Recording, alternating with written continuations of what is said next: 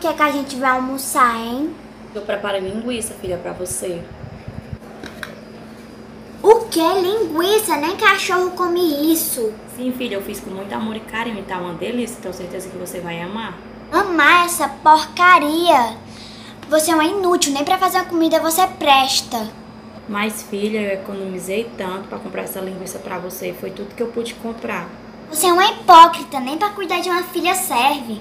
Mas, filha, por que, que você me trata assim? Eu faço de tudo pra te agradar e você sempre reage dessa forma.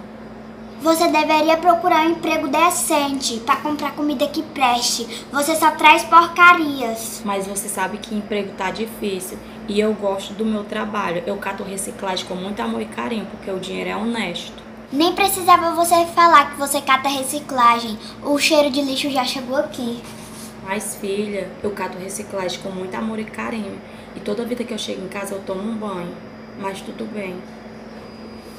Pois eu não vou comer isso. Pode levar pra rua. Você vai ver que nem os cachorros vão querer comer. Você só fala isso porque você nunca passou fome. Mesmo sendo tudo do bom e do melhor, eu sempre tento fazer de tudo pra nunca faltar nada na sua mesa. Mas um dia você ainda vai se arrepender.